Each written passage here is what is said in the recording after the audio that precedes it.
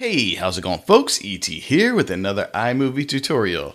In today's tutorial, we're going to cover the new backgrounds that were added. And these are dynamic backgrounds that can be modified to your liking. Okay, so first thing you're going to do is go to the backgrounds tab here. Click on that. And we'll scroll down just a little bit. Let me make some more room here. So a bunch of these backgrounds here are now customizable. And let me do an example here. Okay, first one, we'll start with the triangles. We'll drag this down here. And you see you have a consistent solid background with these two colors. If you double click on it to highlight it in orange and go up to the first icon here, which is background settings, we can now control the color one and the color two. So let's go ahead and change this real quick do one white and we'll do one hmm, red. You know, something like this. Okay, let me go ahead and delete this here. Let's grab the circles, we'll drag this in here, and we'll go ahead here to change the colors here. Uh, let's do light blue, and it's gonna make you blind here, but you can get the general idea here. So an example of how I might use them, I'd go into my media, I'd grab uh, let me get a little bit of Grand Canyon footage here. Yeah, this one. Drag this down here. I'm to lower the sound so you don't hear it. Let's push this back up to make some more room. Increase the size. Okay, so I want to put a background with the title. So because the backgrounds here. Let's go to a gradient here. I will grab this one here.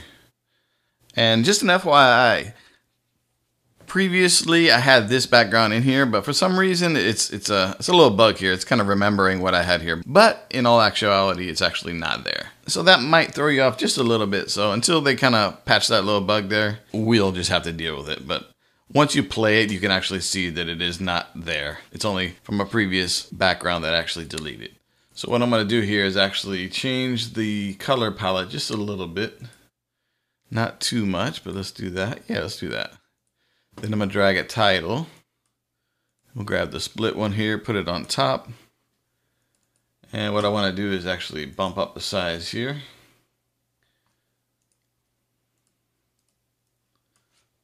Summer 2021. Okay. And then we'll have that go like that. And then actually let's throw another, let's throw a transition in so it kind of uh, blurs. Okay, summer 2021. And then we blur into it. Okay, and we have a nice little background with the transition here. So, okay, the way you know that your background is customizable is when you have your background in the clip, if this option is available. And basically from abstract to gradient pink, these are the ones that are customizable that allow you to change two values like the colors. So one thing I kind of messed with before this recording was I wanted like a flashing on, off, on, off, on, off. So what I'm going to do is um, I'm going to do right click and split or I do command B, command B. So I have five little clips here. So I want to alternate the colors and I'll do, I'll keep this one the way it is and I'll alternate this one here. So let's change that to black. All right, we'll go to this one, change that to black. And then I'll play it and it kind of flashes. But right now they're set at 0.7 seconds. The 0.8 to 0.9. So if we want it faster, we'll just shrink them up. Okay, so now let's have a look at this here. Let me close this little color palette. So I thought maybe it might be interesting to you know, depending on the design you want to have it like flashing. But uh, just something I was messing around with here. I haven't quite yet used these backgrounds for more than just, you know, title cards and things like that. But there could be some creative things you could do with them. And uh, this feature is actually also on the iPad and iPhone version of it too. So if you need creative or unique backgrounds, you can actually do your own. And I think the kind of the ones I would use the most would be like the gradients or yeah, I think the gradients would be the one. Maybe the dots here. And maybe even do a Ken Burns. Let's see if we can do a Ken Burns with it. And get a little potentially snow effect. we'll see what it looks like. Hold on, let's see what it looks like. Eh, kind of sort of snow, but not really snow. but you know, you get some moving dots. So let's try something like we'll start here, we'll end here. See if we can get a something that kind of looks like snow, maybe. I'm just messing around here, but let's see what we got.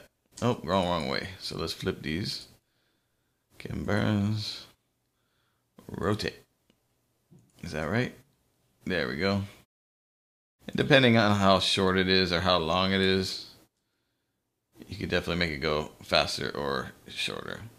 Oh, I have an idea here. Let's uh, let's see if we can make some snow using some green screen. So double click here, and we're gonna go up and select our colors here. We're gonna go from red to like super green here, and then we're gonna drag this on top of a video clip.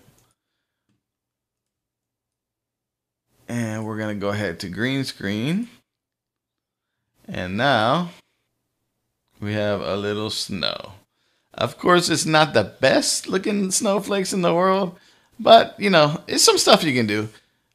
I, iMovie has a lot of little uh, limitations, but there's some hacking and, and some other little things you can kind of mess around with. And I think this might be uh, something you could, if you had like a, a reindeer or or a Christmas card or something like that, you might be able to make it look so-so. Just a thought. Okay, well, I think that's about it for this video here. I want to thank everybody for watching. Don't forget to thumbs up, subscribe, and comment. I want you to put in the comments, I love Mac Minis. Peace and aloha.